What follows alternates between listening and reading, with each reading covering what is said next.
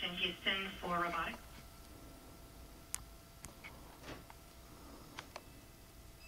Ready, Houston? You are go for the maneuver to the expected capture position at step 5 in 1.110. Are you still five and what?